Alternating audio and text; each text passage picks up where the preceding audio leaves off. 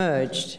And I make no claims that the method I will describe is the last word in benzodiazepine withdrawal, but it is based on close experience with these very articulate patients who attended my clinic, and it's later been confirmed by many, many hundreds more uh, with whom I've been in contact since the clinic closed. And the th basic principles for benzodiazepine withdrawal are very, very simple. Uh, they simply consist of gradual dosage reduction and psychological support if needed. It's generally agreed that dosage should be tapered gradually. Abrupt withdrawal, especially from high doses, can precipitate convulsions, psychosis, and panic reactions.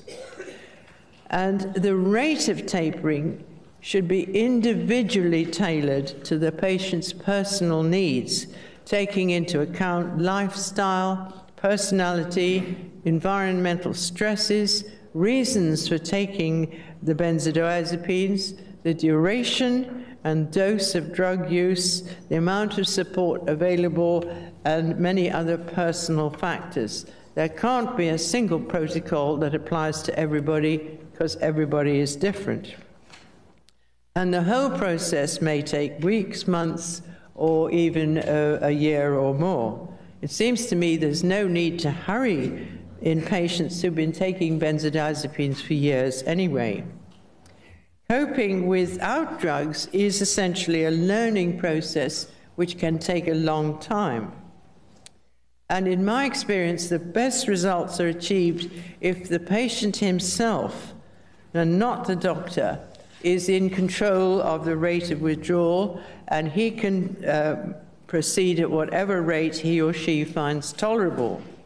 Most patients are quite capable of controlling their own withdrawal, given suitable advice and encouragement. The doctor and patient together can initially devise a mutually agreed withdrawal schedule, but this may require readjustments from time to time depending on progress. And if problems arise, um, the dosage can be stabilized for a few weeks or the rate of withdrawal decreased. But it is important always to go forward and to avoid a backward step of increasing the dosage again. For most patients on therapeutic doses of benzodiazepines, uh, withdrawal is best carried out as an outpatient rapid detoxification in detox units uh, is utterly inappropriate because it's too fast and the patient has no time to build up alternative living skills in their own environment, a process which may take many months. And patients who become involuntarily dependent through doctors' prescriptions often find it traumatic to be treated in the same unit as illicit drug and alcohol use, abusers.